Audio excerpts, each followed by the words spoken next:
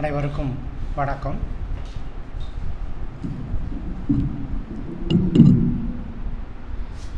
வாசகசாலையினுடைய அமைப்பில் எனக்கு பழக்கமாகி ஏழத்தார மூன்று ஆண்டுகளுக்கு மேல் ஆகிறது.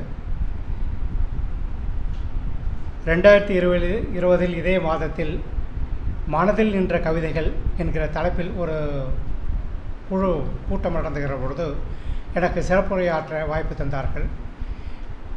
வாசகசாலை நடத்தி வந்த கவிதை இரவு என்கிற கவிதை நிகழ்விலும் காணொலி நிகழ்விலும் என்னுடைய கவிதைகள்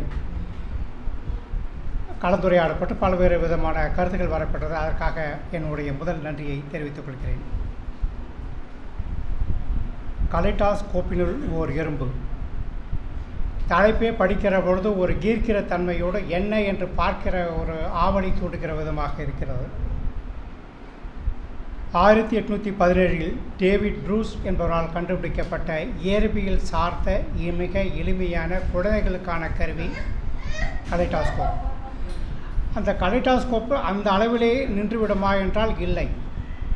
அது குழந்தை பருவத்தில் குழந்தைகளுக்கு விளையாடக்கூடிய கருவியாக இருந்தாலும் கூட இன்றைய அளவில் பயன்பாடுகள் வருகிற பொழுது கம்ப்யூட்டர்கள் நிறைய விஷயங்கள் வந்தாலும் கூட சிறு சிறு நுணுக்கள் நுணுக்கங்கள் மிகுந்த வித்தியாசமான படைப்புகளை தருவதற்கு டிசைனர்ஸுக்கும் நகை செய்பவர்களுக்கும் உதவியாக இருக்கக்கூடிய ஒரு கருவியாக அந்த கருவி இருந்து இருக்கிறது. அந்த வகையில் ஒரு மாறுபட்ட தலைப்பை எடுத்திருக்கிறார். தொகுப்புரையாளர் சொல்கிற பொழுது காதல் என்பது எதோடு நின்றுவிடும். இந்த கட்டத்தோடு நின்றுவிடுமா? இந்த தேதியை போட்டு நின்றுவிடுமா? இந்த பருவ இந்த வயதுக்குரியதாக நின்றுவிடுமா நிச்சயமாக நிற்காது. அந்திமை வரை கடைசி வரை காதல் வரும். கடதாசன் அவர்களுடைய வரிகளை சொல்வதானால் எதுவரையில் காதல் வரும் ஒரு பாடல் வந்து வருகிற பொழுது முதுமை இளமையில் வரையில் காதல் வரும் அது எதுவரையில் கூட வரும் ஓடி வரும் என்றால் முதுமை முழுமை பெற்ற காதல் எல்லாம் முழுமை வரை கூட ஓடி வரும் என்கிற சொல்லுவார் அது மிக திருத்தம். அது மிக நிச்சயமான ஒன்று.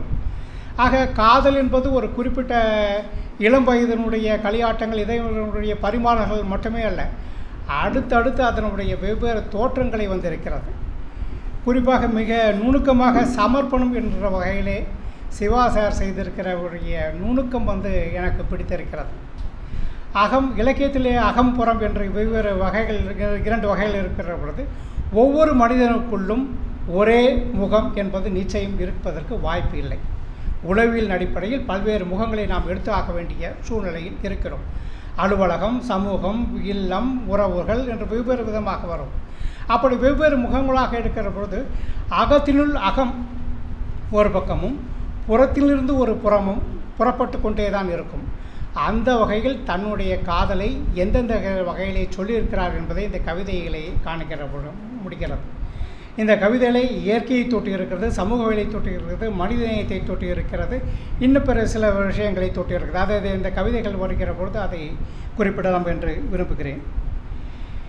கவிதையை பொறுத்தவரையில் இதனுடைய சுருக்கமாக முதலில் சொல்வதால் இந்த கவிதை தொகுப்பு பரபரப்பான கவிதை தொகுப்பு அல்ல. நின்று நிதானமாக உள்வாசித்து ரசித்து உள்வாங்குகிற கவிதைகள். பொதுவாக நாவல் கவிதை எழுதுகிறவர்கள் நாவல் எழுதுகிற போனால் சிறுகதைகள் எழுத போனால் ஒரு சின்ன சிக்கல் உண்டு. அந்த கவித்துவம் வந்து நான் இருக்கிறப்பான்னு பான் தள்ளி உட்காந்து நம்மளை எழுத்தாளரோட முதல்ல அது உட்காந்துக்கணும் சில இடங்களில் தென்படும். சிவா அவர்களை பொறுத்தவரையில் சிறுகதையாளராக எங்களுக்கு முதலில் அறிமுகமானவர். அப்படி அந்த சிறுகதைகளுடைய இருக்கக்கூடிய சாரம்சங்கள் கவித்துவம் அந்த உரைநடை சார்ந்த ஆனால் உரைநடையாக உருவாத கவித்துவம் மிகுந்த வார்த்தைகள் இந்த கவிதையிலும் பல்வேறு இடங்களில் இருக்கிறது.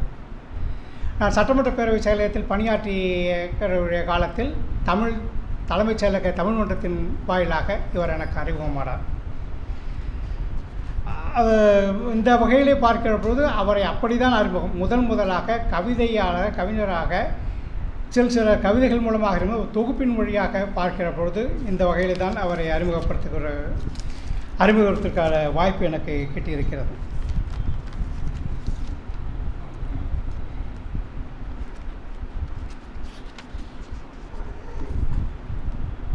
ஒரு ஆக்கத்தினை உருவாக்கி அது முழுமைப்பட்டுகிற பொழுது அந்த ஆக்கம் இன்னாருக்கு சமர்ப்பிக்கப்பட இன்னாருடைய நினைவாக வழங்கப்படுகிறது இன்னாருடைய நினைவாக அதை நிலைநிறுத்தி வைத்திருக்கிறேன் என்னுடைய வாழ்க்கையில் என்கிற பொழுது மிக கவனமாக கையாளப்பட வேண்டிய ஒன்று.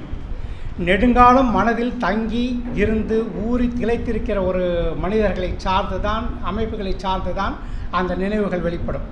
அந்த வகையில் மிக சாமர்த்தியமாக சமர்ப்பணம் என்ற வகையில் என் அகமும் புறமும் இரண்டர கலந்துள்ள என் மனைவி அக்கம் அங்கம்மாளுக்கும் என் நினைவில் ஒளிரும் மானசீக காதலி அண்டர்லைன் வன்னிலாவுக்கும் ஆக மிக நேர்மையாகவும் இருக்க வேண்டும் ஒளிவு மறைவில்லாத இருக்க வேண்டும். இல்லற வாழ்க்கை அந்த இல்லற வாழ்க்கை கடைசி வரை வெற்றிகரமாக தொடரும் என்பதற்கு இந்த சமர்ப்பத்தினுடைய சமர்ப்பத்தினுடைய நுணுக்கம் ஒரு குறியீடாக கொள்கிறோம். பேசி வெகு நாள் ஆனதால் மிக சரளமாக பேசுவதற்கான வாய்ப்புகள் மிக குறைவு. இருந்தாலும் ஒரு சில கவிதைகளிலே சொல்ல வர விரும்புகிறேன்.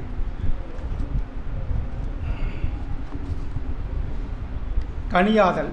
அதாவது கவிதைகள் வெவ்வேறு காதல் என்பது வெவ்வேறு விஷயங்களை தொடுகிற விஷயம் என்பதை சொல்கிற வகையில் இந்த கவிதை அமைந்திருக்கிறது. துவர்ப்பு இனிதாகும்.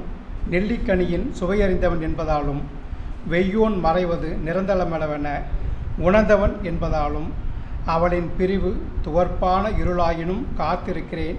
ஒளியை இனிய ஒளியாய் வெளி வருவாள் என்று. ஆக இது வித்தியாசமாக இருக்கிறது. இருள் என்றால் ஒரு காட்சி என்கிறது தான் பொதுவாக குறியீடாக இருக்கும். ஆனால் துவர்ப்பான இருளாயினும் என்கிற நுணுக்கம் இருக்கிற பொழுது அந்த காட்சி அமைப்புக்குள் சுவையை எடுத்து வருவதற்கு ஒரு தனி திறன் வேணும். அது இயல்பிலே அவருக்கு வளர்ந்திருக்கிறது என்றது தான் அவருடைய குருவாக ஜெயமோகன் அவர்களை குறிப்பிடுகிற பொழுது இந்த மாதிரி வார்த்தைகள் விழு வந்து விழுந்து இருப்பதில் ஆச்சரியமில்லை. வியப்புக்குன்ற ஒன்றும் இல்லை ஆனால் ரசிக்கக்கூடியதாக வாசகனுக்கு பாராட்டக்கூடியதாக உள்வாங்கக்கூடியதாக ஒரு சூழ்நிலையை இது ஏற்படுத்தி இருக்கிறது எல்லோருக்கும் இருக்கிற உளவிலை தொட்டு இருக்கிற கவிதை தெரியாமலே முதலில் கண்டுபிடித்து விடுவார்களோ என்ற பயத்தையும் பின்பு கண்டுகொள்ளவே மாட்டார்களோ என்கிற பதற்றையும் பதற்றத்தையும் உண்டாக்குகின்றன தெரியாமல் செய்யும் சிறு சிறு தவறுகள். ஆக எல்லாவற்றையும் கடந்து தான் வரணும். இதை நுணுக்கமாக சொல்லிக்கிற விதம் வந்து மிக அழகாக இருக்கிறது.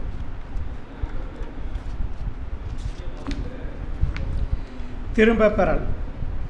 இன்றைய சமூகத்தில் நாம் தெருவில் காலை வச்சோம்னா வேறு வாரியான முகத்தை எடுத்துட்டு பத்திரமா திருப்பி வர வரைக்கும் வெவ்வேறு விதமான மன வித்தியாசங்களையும் அளந்து அளந்து கலந்து கடந்துட்டு போக வேண்டியதாக இருக்குது ஆக ஒரு பயணம் குறித்த ஒரு கவிதையாக திரும்ப பெறல். உரசி விட்டு வருத்தம் தெரிவிக்காமல் பஞ்சாலை சங்கு போல் ஒழித்தபடி இசட் போல் வளைந்து முன்னால் பறந்தவனை சபித்து விட்டேன் சட்டென எழுந்த சினத்தில். சற்று நேரத்தில் தனிந்து தெளிந்து வேண்டுகிறேன் பலமுறை பழித்திடக்கூடாதுவென இதுவரை மனமுருகி மன்றாடி எதுவும் நிறைவேற போதும். ஆக அவர் அதாவது கவியின் வாக்கு பழிக்கும் அப்படின்ற ஒரு மரபு இது உண்டு. அந்த வகையில் ஏதோ ஒரு ஆத்திரத்தில் வேற மனிதனாக அவனை திட்டிட்டோம். அதுக்கப்புறம் பார்த்தா சரி விடுது அவனுக்கு ஏதோ அவசரம் போனான். அவனுக்கு வந்து சபிச்சு அந்த அந்த வாக்கு பழிச்சிடக்கூடாது என்கிற விஷயமும் அவருக்கு எடுக்கும் இந்த பக்கம் இப்போ சமூகம் பார்த்தா அப்புறம் உள்ளுக்குள் இருக்கிற ஒரு குடும்பத்தின் ஒரு சூழ்நிலையில் குடும்பத்தில் இருக்கிற ஒரு குடும்ப மனிதனாக இருக்க முடியும். அப்படி பார்க்கும்போது ஒரு அப்பாவா சொல்லுகிற பகுதி மகள் மட்டுமா? நிலைவெளி அடுப்பு நெகிழி சட்டி மரக்கரண்டி கொண்டு கொண்டு நடத்திய பாவனை சமையலிடையே சினுங்கிய மகள் தமையன் மேல் புகார் சொன்னால் தின்றுவிட்டான் என மகனை கண்டித்துவிட்டு வேறு பணியில் மூழ்கிய போது மீண்டும் சினுங்கி விழி நீர் வழியே கூறினால் வாங்க மறுக்கிறான் ஸோ அந்த பசங்களோடு அவங்க அதை ட்ராவல் பண்ணும்போது அந்த அழகு வந்து அந்த அது நிறைவு இருக்கிற ஒரு அப்பாவாக இந்த கவிதைகளை பார்க்கிற பொழுது. ஆக பல்வேறு கவிதைகளில் பல்வேறு விஷயங்களை எடுத்து சொல்கிற பொழுது ஒரு கவிதை நூல் முழுமையாக இருக்கிறது. ஒரே பொருள் குறித்து கவிதை எழுத்து தொகுப்புகள் என்று வந்திருக்கின்றது வேறு விஷயங்கள். ஆனால் இவன் நாவல் சிறுகதைகளை எழுதிய எழுத்தாளர் இருக்கிற பொழுது வெவ்வேறு பரிமாணங்களை அதிகமாக உள்வாங்கிய ஒரு நபர் இந்த வகையான கவிதைகளை அமைத்திருப்பது என்பது வாசகர்களுக்கான ஒரு பரிசாகவே கருதுகிறேன். அதே போன்று வார்த்தைகள் வந்து ரொம்ப அருமையாக இருந்தது. சுருள் குழல் வெய்யோன் மிளிர் செவி அணி போர் பசுங்கரம். நிறைய விஷயங்கள் அப்படி இருக்குது ஆக வார்த்தைகளை பொறுத்தவரை நான் என்ன சொல்கிறேன்னா புதிய வார்த்தைகள் கவிதையாளர்கள் பயன்படுத்துறது ஒரு பக்கம் இருக்கட்டும். இந்த பழந்தமிழ் வாழ்க்கைகளை இலக்கிய சொல்லாடல்களை இன்னும் சொல்கிறதா இருந்தால் குறிப்பிட்டு சொல்கிறதா இருந்தால் ஆண்டாளுடைய திருப்பாவைகள் கூட சொல்லலாம். பல நட்பு நல்ல சொற்கள் அருமையான சொற்கள் இருக்கிறது. அந்த சொற்கள் பூ- மலர்கிற மாதிரியான சொற்கள். அதிலிருந்து பல்வேறு விதமான பொருள்கள் பெறக்கூடிய சொற்கள் இருக்கின்றன. அந்த சொற்கள் எல்லாம் பொருத்தமான இடங்களிலே கவிதையிலோ கதையிலோ எதிலையோ ஒன்று பயன்படுத்திக்கிற பொழுது அது கவிதை சற்று இன்னும் எளிதாக இருக்கும் என்று நான் நம்புகிறேன். அப்படி தொடர்கிற பொழுது அந்த வார்த்தைகளுடைய பாரம்பரியம் அந்த வார்த்தைகளுடைய வேர் வேரினுடைய பிடிப்பு பலம் தொடரும். அந்த வகையில் சிறந்த கவிதையை வந்திருக்கிற சிவா அவர்களுக்கு என்னுடைய வாழ்த்தையை சொல்லி அமைகிறேன். நன்றி வணக்கம்.